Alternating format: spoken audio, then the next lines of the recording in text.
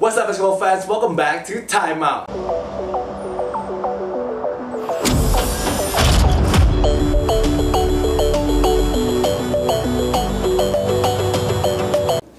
bareng gue Ricky Padilla dan video kali ini kita akan membahas tentang ABL Finals Game 1 di mana BTN Chesters Indonesia berhasil menang atas tuan rumah Singapore Slingers dengan skor 86-67 yang artinya BTN Chesters Indonesia berhasil mencuri home court advantage dan juga unggul 1-0 di best of 5 series ini. Mereka membutuhkan dua kali menang lagi nih untuk menjadi juara ABL 2019.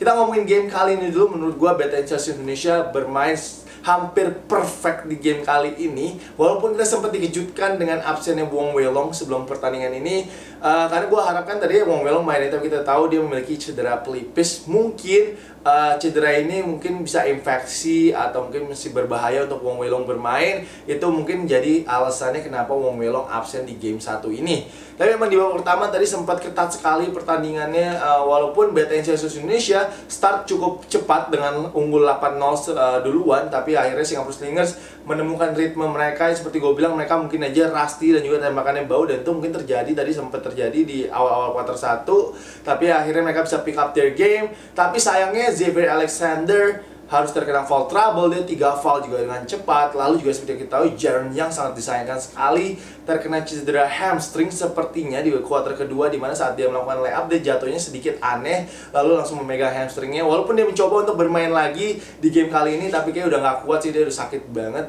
Dan statusnya untuk game kedua kita belum tahu apakah dia bisa bermain atau enggak karena kita tahu hamstring ini sangat berbahaya banget. Kalau hamstringnya putus sudah kelar sih karirnya sih. Jadi kita nggak mau dia cedera seperti Chris Paul juga kan. Chris Paul hamstringnya mirip-mirip nih cedera kayak gini kayaknya.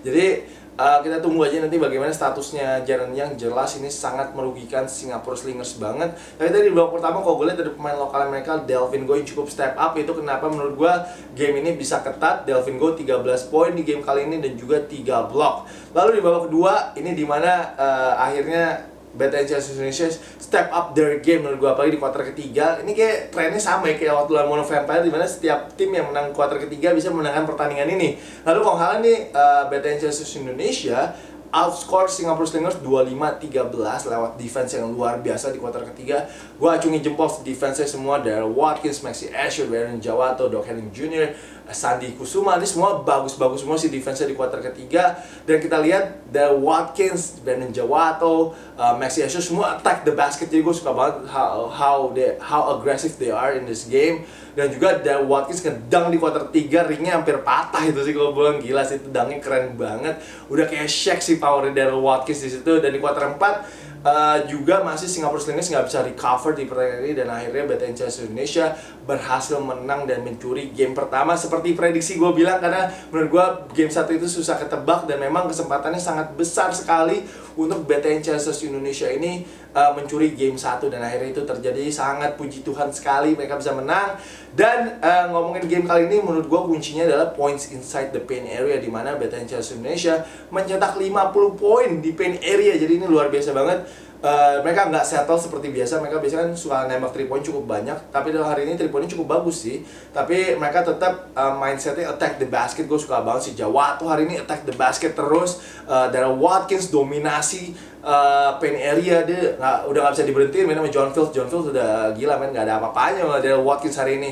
Dan Watkins mencetak 23 poin dan 12 rebound. Menurut gue dari Watkins adalah MVP-nya hari ini sih. Dia luar biasa banget. Walaupun memang Maxi Asho yang top scorer dengan 24 poin. Tapi gue suka bagaimana mindsetnya para pemain Chelsea ini untuk attack the basket untuk membuat para pemain Singapore Slingers melakukan foul. Hopefully ini bisa dilakukan lagi di game kedua nantinya.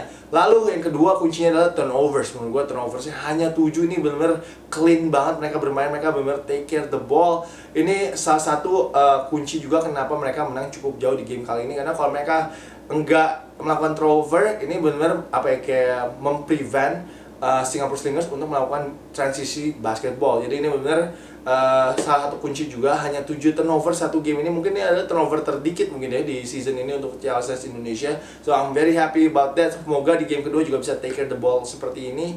Yang ketiga adalah 10 steals di mana defense uh, CLS berarti ini bagus banget mereka berhasil melakukan 10 steals dan itu create uh, opportunity untuk mereka mencetak poin So, uh, itu adalah tiga kuncinya mungkin untuk gue Gue masih belum tahu statusnya Wong Welong di game kedua nanti bagaimana. Semoga aja Wong Welong bisa main. Kalau mereka bisa mencuri game kedua lagi dari Singapore Slingers Ini akan menjadi hal yang luar biasa banget. Kayaknya udah susah banget sih kalau uh, Singapore Slingers ingin ingin bounce back dari ketinggalan 2-0 Jadi gue harapkan BTN Chelsea Indonesia bisa menang nih game kedua nanti uh, hari Minggu. Uh, Hari Minggu tuh mainnya jam 3 sore di Jakarta. So make sure you guys nonton di video.com uh, it's 1 o'clock I think right now 1.30 1.30 a.m. pagi sekarang ini.